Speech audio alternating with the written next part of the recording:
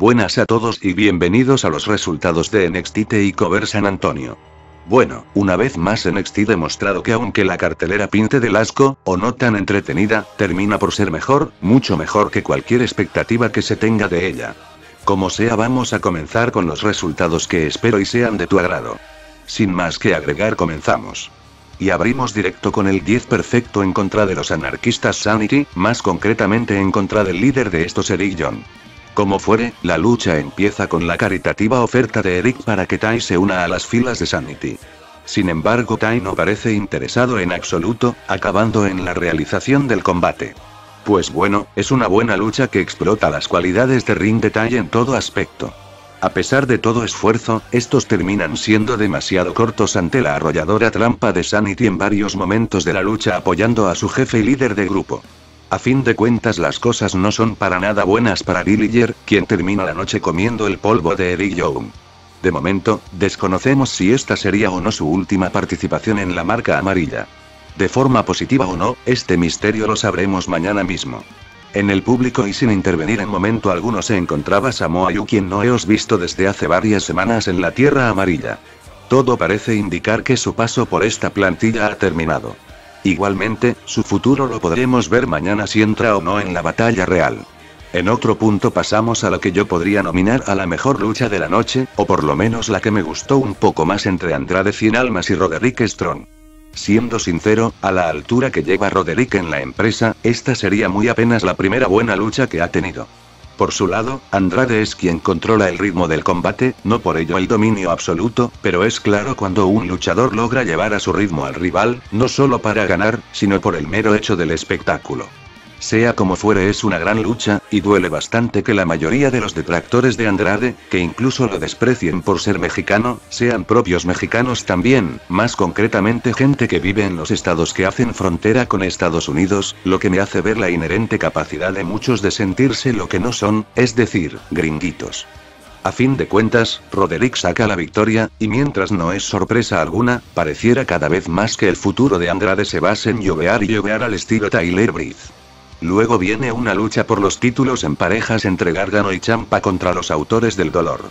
Pido una ligera pero casi inexistente disculpa debido a que la página a la que estoy asociado con las capturas dejó de tomar desde esta lucha caputras dentro de la pelea.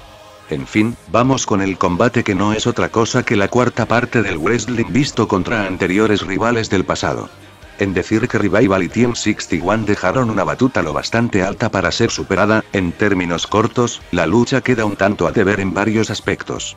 Quizá pueda ser por el estilo monster que manejan los autores, pero de que la lucha fue baja de ritmo y requirió de los campeones para la mayoría de los spots, eso es algo que nadie podría negar nunca. De cualquier modo los autores del dolor logran salirse con la suya y son los nuevos campeones por parejas. Veremos lo que esto implique en la rivalidad y las futuras acciones para los ahora ex campeones, y para estos señores que cosechan dos logros en dos eventos. Después tenemos a Seth Rollins entrando y exigiendo la presencia de Triple H como fuera en el lugar. Y para sorpresa de todo mundo, el juego aparece para agarcharse a todos. Bueno, no tanto de esa manera, ya que solo manda a seguridad a retirar a Rollins del lugar, incluso expulsarlo del estadio.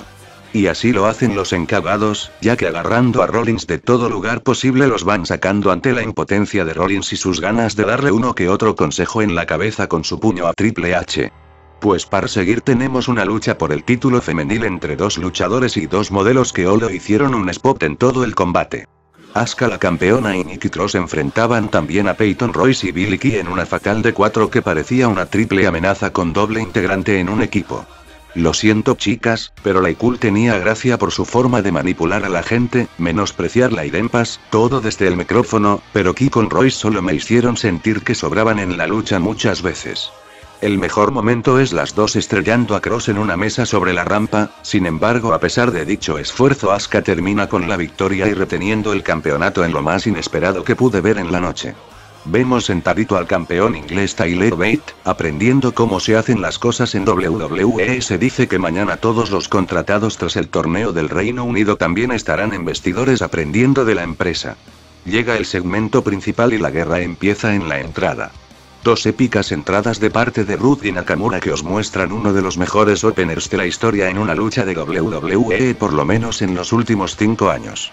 Avanzando a la lucha tenemos una lucha bonita y cumpliendo con lo esperado.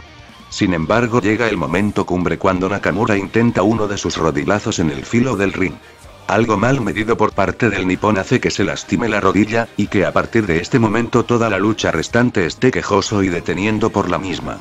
Muchos juraban una lesión Keifei, pero no lo es ya que ya fue confirmada por el propio Triple H. Sale el jefe de entrenadores Jason Albert, a quien recordarán como Tensai en el ring, algo no anda bien en la lucha. Y Bobby como buen profesional sabe lo que hay que hacer. Rompecaras glorioso pero la cuenta no llega a tres, un cagrejito pero Nakamura se zafa, aunque yendo más lejos que el personaje, tan poca fuerza le quedaba en la pierna que Ruth es quien básicamente se libra solo. Otro DDT glorioso y la cuenta llega a tres, tenemos nuevo campeón de NXT.